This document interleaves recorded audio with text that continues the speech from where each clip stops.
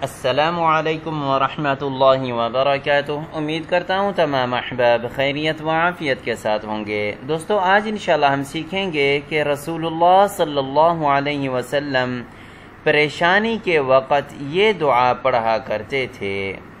رسول اللہ صلی اللہ علیہ وسلم پریشانی کے وقت یہ دعا پڑھا کرتے تھے۔ آج انشاءاللہ وہ دعا بھی پڑھیں گے، ساتھ ساتھ دعا کا ترجمہ بھی پڑھیں گے۔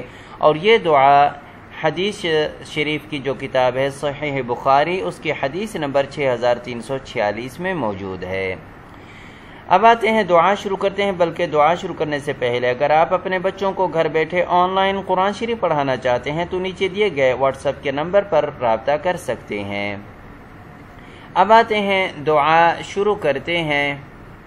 لا إله إلا الله العظيم الحليم. لا إله إلا الله العظيم الحليم. لا إله إلا الله رب العرش العظيم. لا إله إلا الله رب العرش العظيم.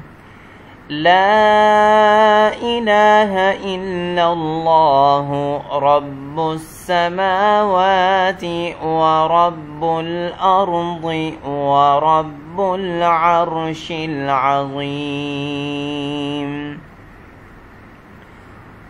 اب آتے ہیں دعا کے ترجمے کی طرف.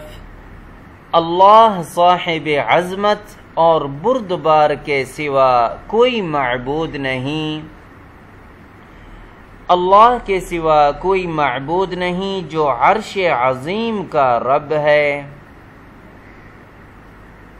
اللہ کے سوا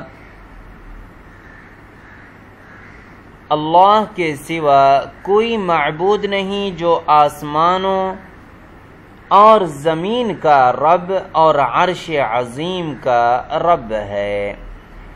امید ہے دوستو آج کا ویڈیو آپ کو پسند آ گئی ہوگی۔ اس ویڈیو کو لائک بھی کیجیے گا، شیئر بھی کیجیے گا، چینل سبسکرائب کرنا نہ بھولے گا۔ آئندہ ویڈیو تک اجازت۔ والسلام علیکم ورحمۃ اللہ وبرکاتہ۔